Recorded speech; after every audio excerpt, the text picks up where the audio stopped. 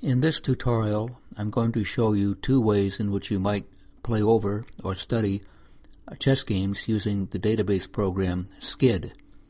This is a follow-on tutorial to one called Studying Openings with SCID. In that tutorial, I showed how to install SCID and how to download files in PGN format to load into SCID databases. You might ask why study over master level chess games at all. Here's a quote from a recent book called Moonwalking with Einstein, a book on memory techniques. And this cites a psychological study that shows that the best predictor for success in chess is how many Grandmaster games one plays over. In the previous tutorial I gave you some sources for games in PGN format. Here are some more. I suggest if you are interested you stop the video and copy down the URL for these sources for games. The first one here contains many files by player, and there are many famous players here, and that's a good source for master games. Another source for a lot of games is this one. Uh, this is a file that you might use as your reference database. It contains something like 4.4 million different games, and you can download these things actually in PGN format, Chess Assistant format, or SCID format. If you wish to download it in SCID, you could try that. I can't guarantee that that would work, but you, the PGN format would definitely work. Another source for master level games is this URL. Here we have files in PGN by players, openings, and events. There are many files here. You can see that just about any player that you might be interested in, you could probably find here and download the games. And you can download games by uh, opening as well. A lot of files on this site. Here's another site from chess.com, and I selected out short games. It's uh, sometimes more fun to play over short games. It doesn't take you very long, and uh, you can get uh, quite a bit out of them in that you can learn traps and things that you shouldn't do. So let's suppose that you have opened your SCID database that contains some master level games and you want to pick one to go over. It's still a question which one would you pick? Here are some suggestions. If you have a book of annotated games, you might see if those games or one of the games that you're interested in is in your SCID reference database. Quite often, if the database is large enough, uh, games that are annotated in books will often be included in your reference database. So that's a good pick. Another way to pick a particular game is to pick one that uses an opening that you're learning. In the previous tutorial, I showed you how to study openings using SCID, and it's a natural thing to do then to go on and play over that game. Another way to pick a game is to pick games by your favorite player uh, you, this could be a historical player or a modern day player if you have their games. And last, what you might do is play over games in order uh, by their date. So, for example, you might say play games by uh, Morphy, and after a few of those, play games by Steinitz, and continue through all of the world champions in order, and you might get some idea of how the game has changed uh, by the champions over the years. Here I've opened my Morphy database and arbitrarily selected the first game in that, and this was played by Morphy against another Morphy in a blindfold game. Now the first thing you want to do is you want to close the notation window. We're going to play a version of guess the move, and so you don't want to know what the moves are. So right click on this and close it off. The next thing you want to do is right click on this window at the bottom and there are a bunch of options. You can see here that it tells us uh, that Morphy won the game, and it tells us what the next move is, is e4. Well, we don't want to know what the next move is, so we right click and we get a menu that lets us hide the next move. Now we know that Morphy won this game, Paul Morphy won this game, and we want to play the game from the winner's perspective. White is at the bottom, so we're all set to go. If black had won, we just press the period key to get black at the bottom. And in this case, we'd be guessing black's move, but we want to try and guess white's move.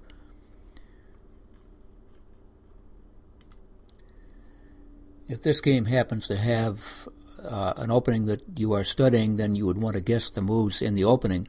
But let's suppose you're not doing that, and all you want to do is guess moves starting somewhere in the middle game. So you would play through this game by clicking the right arrow key until you get to some position that you are want to start following the game on. Let's suppose it's just that simple. At this point, we're going to start guessing White's move. Presumably, after some time of study, let's suppose that we thought that the best move for White, or a pretty good move, was Knight captures e5. A window comes up to indicate that we did not make the move in the game, but this is our guess. What we're going to do is we're going to click Try Variation, which will allow the game to proceed using this variation, but does not alter the moves in the game in any way. So if we try variation, we see that the move that we guessed is now played on the board. What we do now is call up an engine to evaluate this position to see how good our move really was. Here's how you start up a chess engine. Go to Tools, click on Start Engine 1, and that starts up, for me, uh, an engine called Houdini. Now we'd like this engine window to be to the right of our board, so we open up the menu and we click on move to right, and now the engine is to the right of the board. Now when you look at the engine window, what we're going to concentrate on is this evaluation, which is the first number here, ignoring the particular moves that the engine is suggesting to achieve this variation. What this is saying is that our white move here with a knight the engine thinks is minus 1.7 pawns. The minus sign means that white is at a disadvantage. If it were a plus here, that means that white were, would be at an advantage. So this means that the engine thinks that white is now down almost two pawns. So we would take note of that score. And now we'll get back to the real game by going up here to Edit, unclicking Try Variation, and you can see that we've been put back to the position before we guessed our move and now we're going to click on the right arrow and make Morphy's move which is bishop to c4 the engine is still running and now the engine says the evaluation is 0.17 the plus means that white has a very very slight advantage. This contrasts with our guess which was down almost two pawns. So you would score this move for yourself as a zero because you didn't do as well as the engine thought, so you get zero points for that guess. Now we might as well stop the engine because it takes some CPU time and continue with the game. We're not going to try and guess black's moves, so we'll just hit the arrow key and that's black's move. Now we need to guess white's move. After some study, let's suppose that we think that Morphy's move was C3. Because the program didn't give us the window indicating that was not the move in the game, we know that this in fact is the move that Morphy made. So we would give ourselves one point for having guessed correctly. Now, the engine may think that it's a bad move, but at least our move was as good as Morphy's, and so we're going to give ourselves one point. So the idea is that you get one point if your move is as good as Morphy's, at least in as, at least if the engine thinks it's as good. And you get zero points if the engine says that your move is worse than Morphy's.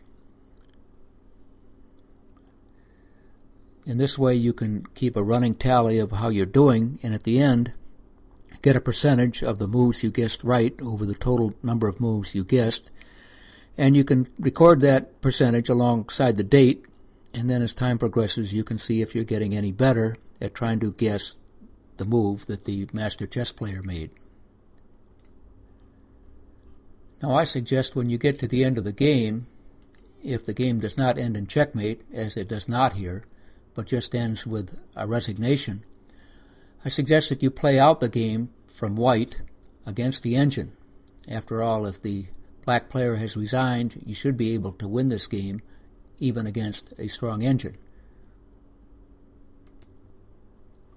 To play out the game against an engine, go over here to Play and select Tactical Game and select Start from the current position and set the engine's level up. Uh, I would set it up all the way and now you can play against the engine. Here it's white's move, so I'm, I'm sorry, it's black's move, so we'll let the engine uh, play out black and and we'll play white. So hit play.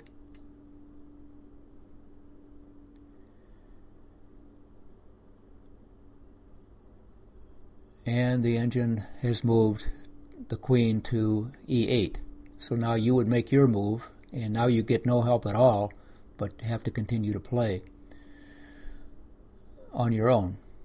So maybe you take the queen. I don't know if that's a good move or not, but let's suppose that's what you do. And in this way, you continue to play out the game, and you should be able to win a one game. You get no score for winning or losing the one game. Just keep track of the score by tallying up the moves that you guessed correctly and the moves that you blundered on. I should say that you're going to have to pick some kind of uh, evaluation as to how bad your move is if the engine says it's X and you were only, say, 0.2 or 0.5 pawns worse than the engine move, then you might give yourself full credit. You're going to have to decide what that uh, slack number might be. But I think a half a point is not too bad since engines are really not all that precise when you get below a pawn. Now I'm going to show you a second way to play Guess the Move using the SCID database program. It turns out that SCID has thought of this as being a useful thing to do. So what you can do is click on Play, and you can click on Training, and then click on Review Game. Now we've already loaded our game into the window that we're going to review it's still the first game in the Morphy database. Again, we'd like this window to be right alongside the board, so we click on this menu with the right mouse button and we say move to right and now our game review window is next to our board and it's asking us to enter our move. So we're going to enter our move and we're going to say that we think Morphy did E4. Well, sure enough, he did. And he's going to analyze our move, and he says we played the same move as in the match. Okay? Now let's suppose we make a move and we think that white's next move is, say, this. It takes a little while for the engine to evaluate the position, but it says move is not good, minus 0.38, and it shows us the variation. So we can keep a running tally here, depending on whether we think that this score of point minus 0.38 is all that bad. If we think it's a bad move, then we'll give ourselves zero points. We'll give ourselves one point for the first move. And every time that this game review window thinks that our move is okay, we'll give ourselves one point. And we'll do that whether or not we matched the Morphy move or not. Now we get the chance to guess again. And this time, let's suppose we make this move. Again, this takes a while for the engine because it has to evaluate uh, uh, both the real move and, and, our guess, and that's why it takes a little bit long. But here again, we played the same move as in the match, so we give, our, give ourselves another point. So you might think this is a little bit easier than uh, doing it the first way, but there are some restrictions in that it takes a little bit of time. The engine is evaluating all the moves, uh, or all the positions rather, and you don't really have to do that if uh, your move matches Morphy's move. So either way, this is how you might play through a master game using the SCID database. I'm going to close the tutorial by suggesting that you're only going to get out of this master level game review depending upon the effort that you put into it.